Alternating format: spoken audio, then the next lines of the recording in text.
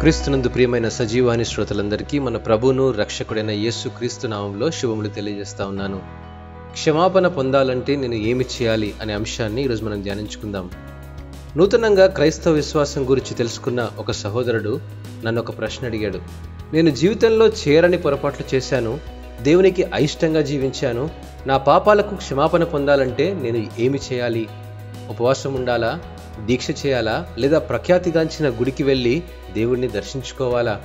ఇటువంటి ప్రశ్న మిమ్మల్ని అడిగితే మీ అనుభవాన్ని బట్టి మీరు ఎటువంటి సమాధానం ఇవ్వగలరు?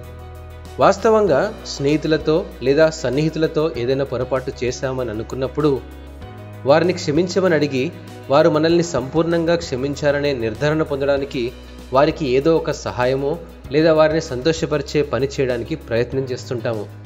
మనం వారికి మేలు చేస్తే వారు మన పొరపాటును క్షమించడమే కాకుండా ఎన్నటికీ మన పొరపాటును గుర్తుపెట్టుకోరనేది మన అభిప్రాయం. కొంతవరకు వాస్తవమే అనుకున్న నిజానికి వారి మనసులో ఎప్పటికీ ఆ సంఘటన గుర్తుంటుంది. ఇది మానవ నైజం. మనం అనేకసార్లు మన పాపాలను గుర్తు చేసుకొని దేవుని క్షమాపణను పొందడానికి ఏదో ఒకటి చేయాలి అనుకుంటుంటాము. అయితే దేవుడు అంటున్నాడు ఎఫ్ఎస్సి రాసిన పత్రిక రెండవ అధ్యాయం ఎనిమిది నుంచి తొమ్మిదవ వచనంలో కృపచేతనే మీరు రక్షించబడితే గాని మీ క్రియల వలన కాదు. ఇస్రాయేలీలతో చేనయున్న నూతన నిబంధనను గురించి దేవుడు వారికి వివరిస్తూ ఇర్మియా గ్రంథం ముప్పై ఒకటవ అధ్యాయం ముప్పై నాలుగు వచనంలో దేవుడు అంటున్నాడు నేను వారి దోషములను క్షమించి వారి పాపములను ఇక ఎన్నడను జ్ఞాపకము చేసుకున్నాను మనల్ని క్షమించి మన తప్పులను ఇకను జ్ఞాపకము చేసుకునని దేవుడు మనకున్నాడు.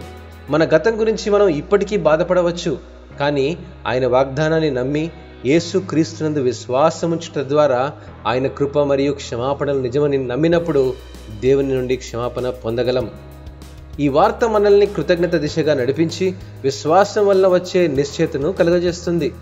దేవుడు క్షమించినప్పుడు ఆయన ఇక ఎన్నడను జ్ఞాపకం చేసుకొనడు. కృప క్షమాపణ అనునవి దేవుడు మనం అడగకుండా ఇచ్చే బహుమానాలు. అట్టి క్షమాపణ ప్రభు నుండి పొందుటకు ప్రయత్నం చేద్దాం. దేవుడు మిమ్మను ఆశీర్వదించినగాక. ఆమెన్.